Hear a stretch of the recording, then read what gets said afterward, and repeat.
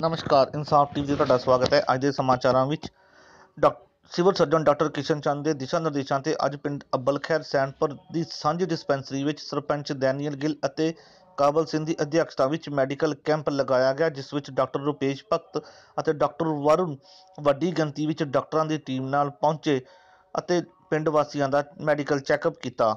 ਇਸ ਮੌਕੇ ਤੇ ਡਾਕਟਰ ਰੂਪੇਸ਼ ਭਗਤ ਅਤੇ ਡਾਕਟਰ ਵਰੁਣ ਨੇ ਪਿੰਡ ਵਾਸੀਆਂ ਨੂੰ ਸਵਾਈਨ ਫਲੂ, ਮਲੇਰੀਆ ਅਤੇ ਡੇਂਗੂ ਵਰਗੀ ਬਿਮਾਰੀਆਂ ਦੇ ਲੱਛਣਾਂ ਤੋਂ ਜਾਣੂ ਕਰਵਾਇਆ ਅਤੇ ਤੁਰੰਤ ਡਾਕਟਰੀ ਸਹਾਇਤਾ ਲੈਣ ਲਈ ਪ੍ਰੇਰਿਆ।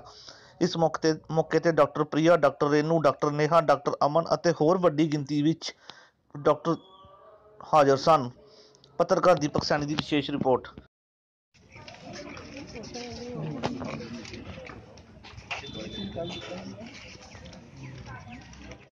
ਅੱਜ ਦਵਾਈ ਮੈਂ ਤਾਂ ਸਾਰੀ ਹੈਗੀ ਆ ਕੱਲ ਹੈਲੋ?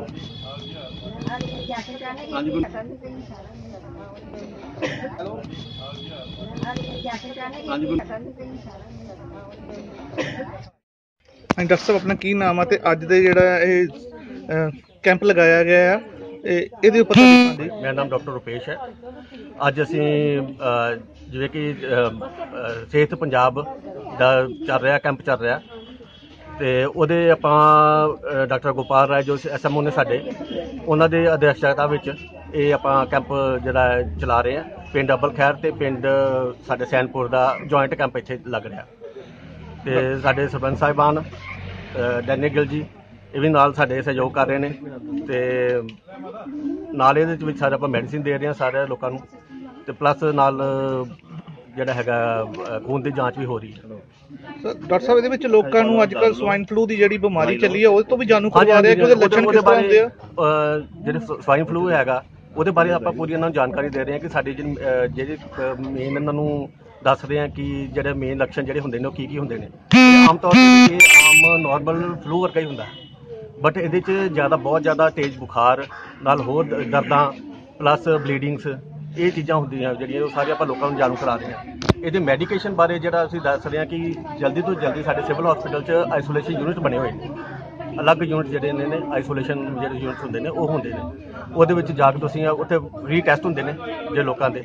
ਤੇ ਪਲੱਸ ਜਿਹੜੀ ਹੈਗੀ ਹੈ ਸਰਕਾਰ ਵੱਲੋਂ ਜਿਹੜੀ ਹੈ ਮੈਡੀਕੇਸ਼ਨ ਵੀ ਜਿਹੜੀ ਹੈ ਫ੍ਰੀ ਹੋ ਰਹੀ ਹੈ ਉਹਦੇ ਵਾਸਤੇ ਅਸੀਂ ਇਹਨਾਂ ਨੂੰ ਲੋਕਾਂ ਨੂੰ ਕਹਿ ਰਹੇ ਹਾਂ, ਜਾਗਰੂਕ ਕਰ ਰਹੇ ਹਾਂ। ਹਾਂਜੀ ਸਰ ਹਾਂਜੀ, ਮੈਂ ਡਾਕਟਰ ਵਰੁਣ, ਪੀਐਸਸੀ ਦਰਾਂਗਲੇ 'ਚ ਪੋਸਟਡ ਹਾਂ ਤੇ ਮੇਰੀ ਡਿਊਟੀ ਅੱਜ ਲੱਗੀ ਹੈ ਸਿਹਤ ਜਾਗਰੂਕਤਾ ਮੁਹਿੰਮ ਦੇ ਵਿੱਚ, ਤੰਦਰੁਸਤ ਪੰਜਾਬ ਦੇ ਵਿੱਚ। ਤੇ ਇੱਥੇ ਅਸੀਂ ਕੈਂਪ ਲਗਾ ਰਹੇ ਹਾਂ, ਅੱਜ ਅਬਲ ਖੈਰ ਦੇ ਵਿੱਚ ਲਗਾਇਆ ਹੋਇਆ ਕੈਂਪ, ਪੇਸ਼ੈਂਟ ਦਿਖਾਉਣ ਆ ਰਹੇ ਆ ਤੇ ਪੇਸ਼ੈਂਟ ਦਾ ਜਨਰਲ ਚੈੱਕਅਪ ਹੋ ਰਿਹਾ, ਇੱਥੇ ਬੀਪੀ ਸ਼ੂਗਰ ਵਗੈਰਾ ਚੈੱਕ ਹੋ ਰਹੀ ਹੈ ਤੇ ਜਨਰਲ ਬਿਮਾਰੀਆਂ ਦਾ ਇਲਾਜ ਕੀਤਾ ਜਾ ਰਿਹਾ। ਤੇ ਨਾਲ ਦੀ ਨਾਲ ਲੋਕਾਂ ਨੂੰ ਬੀਪੀ ਦੀ ਬਿਮਾਰੀ ਦੇ ਲਈ, ਸ਼ੂਗਰ ਦੀ ਬਿਮਾਰੀ ਦੇ ਲਈ ਤੇ ਖਾਸ ਕਰਕੇ ਸਵਾਈਨ ਫਲੂ ਦੀ ਬਿਮਾਰੀ ਦੇ ਲਈ ਜਾਗਰੂਕ ਕੀਤਾ ਜਾ ਰਿਹਾ ਕਿ ਬਿਮਾਰੀ ਕਿੱਦਾਂ ਫੈਲਦੀ ਹੈ। ਖਾਸ ਕਰਕੇ ਅੱਜ ਕੱਲ੍ਹ ਸਵਾਈਨ ਫਲੂ ਸਾਡੇ ਪੰਜਾਬ ਦੇ ਵਿੱਚ ਵੀ ਫੈਲਿਆ ਤੇ ਉਹਦੇ ਬਾਰੇ ਦੱਸਿਆ ਜਾ ਰਿਹਾ ਕਿ ਸਾਰੇ ਮਰੀਜ਼ ਨੂੰ ਕਿ ਸਾਫ਼ ਸਫ਼ਾਈ ਦਾ ਧਿਆਨ ਰੱਖੋ ਤੇ ਜਾਗਰੂਕ ਰਹੋ। ਜਦੋਂ ਵੀ ਖਾਂਸੀ ਜ਼ੁਕਾਮ ਹੁੰਦੀ ਹੈ ਤੇ ਤੁਰੰਤ ਆਪਣੇ ਨੇੜੇ ਸਰਕਾਰੀ ਹਸਪਤਾਲ ਦੇ ਵਿੱਚ ਜਾ ਕੇ ਤੇ ਆਪਣੀ ਜਾਂਚ ਕਰਵਾਓ। ਇਹਨੂੰ ਆਮ ਫਲੂ ਦੇ ਨਾਲ ਨਹੀਂ ਸਮਝਣਾ ਕਿ ਜਿੱਦਾਂ ਆਮ ਫਲੂ ਹੁੰਦਾ ਹੈ, ਉਹਦੇ ਤਰ੍ਹਾਂ ਨਹੀਂ ਸਮਝਣਾ ਇਹਨੂੰ। ਆਮ ਲੱਛਣ ਜਿਹੜੇ ਹੁੰਦੇ ਆ ਸਵਾਈਨ ਫਲੂ ਦੇ ਉਹਦੇ ਉਹਦੇ ਵੀ ਇਦਾਂ ਹੀ ਹੁੰਦੇ ਆ ਜ਼ੁਕਾਮ ਹੁੰਦਾ ਬੁਖਾਰ ਹੁੰਦਾ ਗਲਾ ਖਰਾਬ ਹੁੰਦਾ।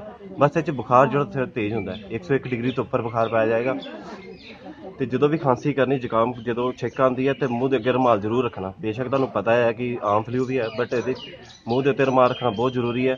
ਉਸ ਪਰਸਨ ਤੋਂ ਇੱਕ ਘੱਟੋ ਘੱਟ 1 ਮੀਟਰ ਦਾ ਗੈਪ ਬਣਾਏ ਰੱਖੋ, ਜਿਹਨੂੰ ਇਸ ਤਰ੍ਹਾਂ ਦਾ ਫਲੂ ਦੀ ਬਿਮਾਰੀ ਲੱਗੇ।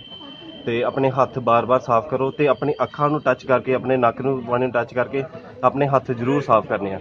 ਬਸ ਖਾ ਕੁਝ ਵੀ ਖਾਣ ਤੋਂ ਪਹਿਲੇ ਆਪਣੇ ਹੱਥ ਜ਼ਰੂਰ ਸਾਫ਼ ਕਰੋ ਐਂਡ ਆਪਣੇ ਮੂੰਹ ਦੇ ਅੱਗੇ ਰੁਮਾਲ ਰੱਖਣਾ ਨਾ ਭੁੱਲੋ ਤੁਹਾਡੇ ਲਾਗੇ ਕੋਈ ਵੀ ਖਾਂਸੀ ਦਾ ਮਰੀਜ਼ ਹੈ ਆਪਣੇ ਘਰ ਪਰਿਵਾਰ 'ਚ ਅਗਰ ਕੋਈ ਵੀ ਤੁਹਾਨੂੰ ਉੱਦਾਂ ਦਾ ਮਰੀਜ਼ ਮਿਲਦਾ ਹੈ, ਜਿਹਨੂੰ ਖਾਂਸੀ ਜ਼ੁਕਾਮ ਆ, ਉਹਨੂੰ ਜਲਦੀ ਤੋਂ ਜਲਦੀ ਹਸਪਤਾਲ ਦੇ ਵਿੱਚ ਲਿਆ ਕੇ ਉਹਦਾ ਚੈੱਕਅਪ ਕਰਾਓ, ਤਾਂ ਜੋ ਉਹਦਾ ਇਲਾਜ ਹੋ ਸਕੇ।